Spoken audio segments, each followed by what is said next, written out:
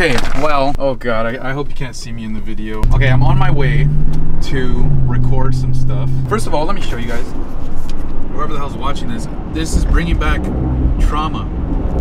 This is where me and Kelvin did the walk thing. We passed through. Oh god, no. Yeah, I'm on my way to San Luis Obispo, and we're gonna record some stuff. Me and three other guys, maybe more people. I'm not sure yet. It's it's so cringe talking to the camera. I'm talking to myself right now, but whatever. It's something I want to get better at. Is just talking in general because I'm a very awkward person and I'm very uh, shy, I guess, scared. But I don't know. This will definitely help.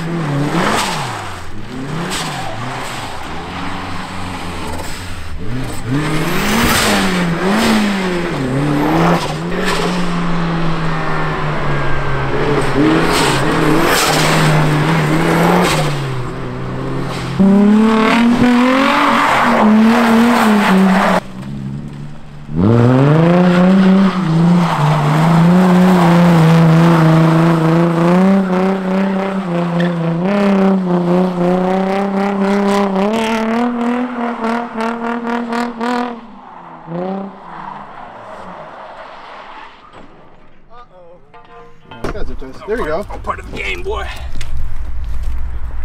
Get out of there. Did you even break the Oh, tire? there's crunch. No. no, there's all the shit back here. Back, uh, Kaleb, you wanna hop in his car and do rollers? Right here? Yeah, we can go around the block. Okay. I can get sideways and boost if you want me to. Use that. Yeah.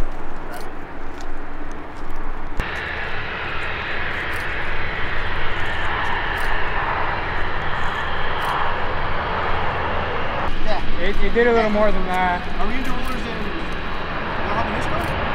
Oh, yeah.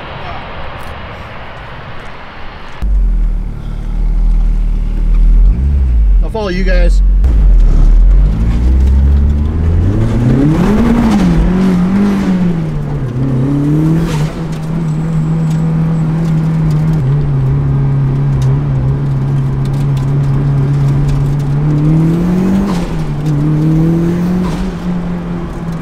Car.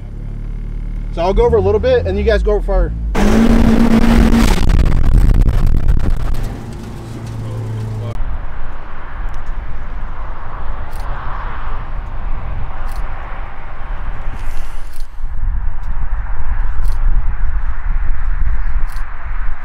Try to get this good side. He doesn't have one. So this is a 2004 Mazda Speed Miata. Um, wait, am I talking right now? Yeah, Okay. you should start talking. It has uh, bored over 1.8, so it's now a 2 liter. It has Wiseco pistons, um, Eagle rods, uh, King race bearings. It has upgraded turbo from Fly Miata, Fly Miata turbo kit in the front, or Fly Miata intercool in the front. Um, it's on 770 injectors. It's on a Mazda Speed 6 speed. It's on a built diff as well. A Cusco, Cusco 1.5. Roughly makes about 400 wheel horsepower. It's Um, 400? Yeah, I didn't know that. Shit. and it's barely holding itself together. It's uh, it's fun. It's wicked. It's fast. Uh, roughly weighs about 2,600 pounds without me in it. Um, but yeah, This thing is if you were asking about the car, never have me like break it down.